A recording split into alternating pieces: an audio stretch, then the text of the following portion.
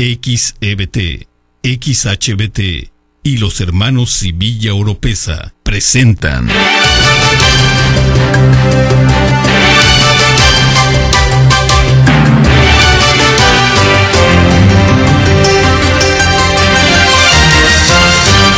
Son las 7 en punto de la mañana, esto es Telereportaje, edición 19673.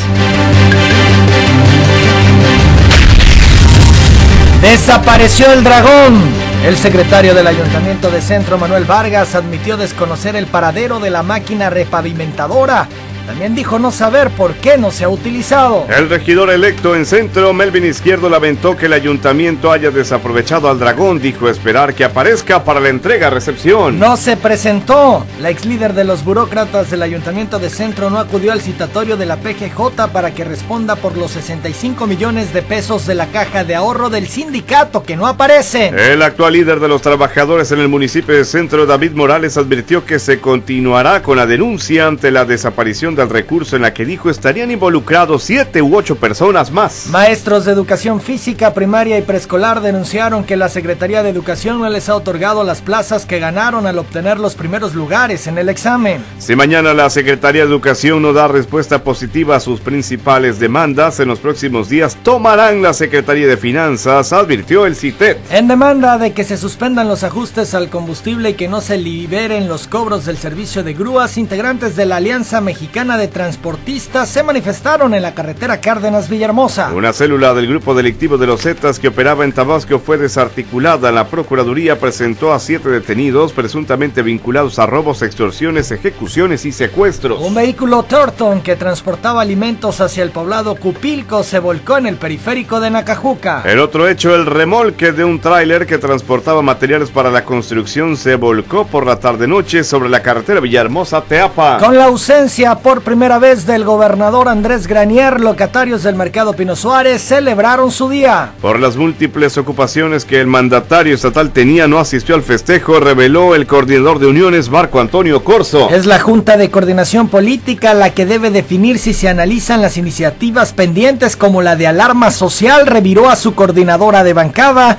el presidente de la Comisión de Seguridad, Dolores Espinosa. La dirigencia del PRD confirmó que el lunes los diputados locales se reunirán para elegir a su nuevo coordinador parlamentario. Además, la dirigencia perredista se reunió con los presidentes de comités municipales, diputados y presidentes municipales electos. Les informó que del 14 al 16 de agosto recibirán una capacitación de cultura democrática, formación política y públicas de la izquierda. En su reaparición pública, el exdirigente del PRI, Adrián Hernández, se descartó para buscar una delegación federal para el próximo sexenio. Dijo esperar a que el tricolor sepa conducirse ahora que será oposición en la entidad. Lo confirmó ante el Trife acudirá para impugnar el resolutivo del tribunal local que ratificó a Rosalinda López en la diputación plurinominal, advirtió María Elena Salvador. El periodista Juan Manuel Fósil rechazó que haya estado detrás de María Elena Salvador y la impugnación que presentó contra el nombramiento de Rosalinda López como diputada plurinominal. El IEPC evitó polemizar con el órgano superior de fiscalización por la evaluación que realizó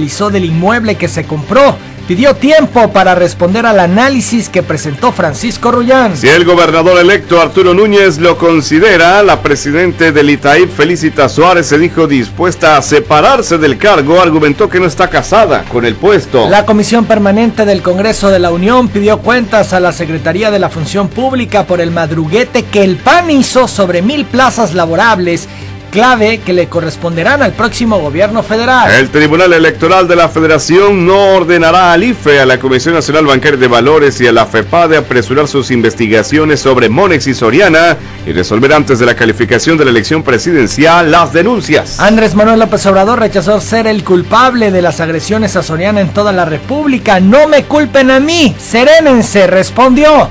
Son las 7 de la mañana, 4 minutos en los deportes. México venció 1 por 0 a Suiza y avanzó al cuartos de final en Londres 2012, donde enfrentará mañana, el sábado, perdón, a Senegal. Eh, el mexicano Oscar Valdés venció ayer al tayico Anuar Yunusov en peso gallo y avanzó a la siguiente ronda del torneo de boxeo en los Juegos Olímpicos. Yael Castillo y Julián Sánchez se ubicaron en el séptimo lugar dentro de la prueba de clavados sincronizados, trampolín de 3 metros. Las mexicanas Aida Román y Mariana Vitia clasificaron a cuartos de final en tiro con arco. Débora Oakley terminó en el quinto lugar de la semifinal de uno de remo, también en los Juegos Olímpicos. Novak Djokovic, Roger Federer y Serena Williams pasaron a cuartos de final en el torneo de tenis olímpico. En la Liga Mexicana de Béisbol, en los playoffs, Monterrey ayer derrotó 6 a 5 a los Diablos Rojos del México, Aguascalientes 2 a 1 a Saltillo, el Mecas caen de nueva cuenta ante Veracruz 4 carreras a 2 y Quintana Roo blanqueó a Oaxaca 4 carreras por 0.